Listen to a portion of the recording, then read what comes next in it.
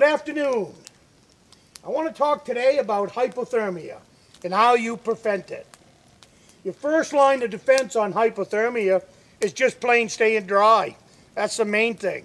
Having a campfire, if you're going to spend the night, is ideal. Uh, that's the only way that I know to, to uh, get through a Maine night up here. But the main thing about hypothermia that I think a lot of people don't realize is you lose the ability to use your hands. Uh, without your hands, you can't gather firewood. Uh, if your feet get cold, you can't walk. You have to protect your feet. You have to protect your hands. If you notice in some of my other videos, I have lots and lots of gloves.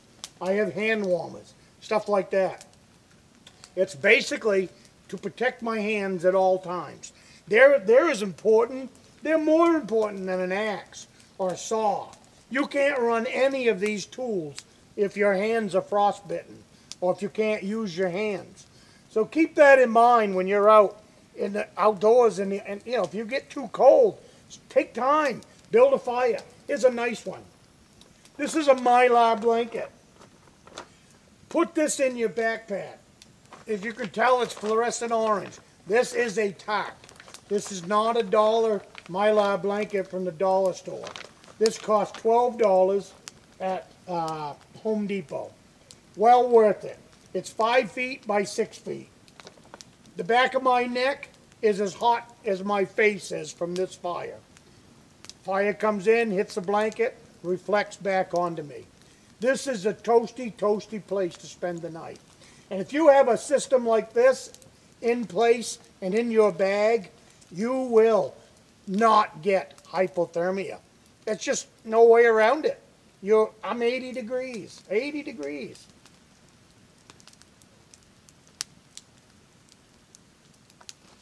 So if you have this kind of system in your backpack with you at all times, it's probably the best defense against hypothermia that you can put together.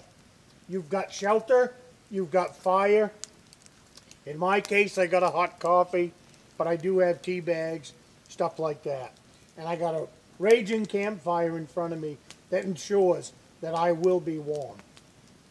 I have picked a spot where there's lots of blowdowns, so I have lots of firewood for my campfire to get warm, and then I can proceed on to my uh, pickup truck or snowmobile and get me out of the woods. But I really wanted to stress was keeping your hands warm. Keeping your hands warm and keeping your feet warm.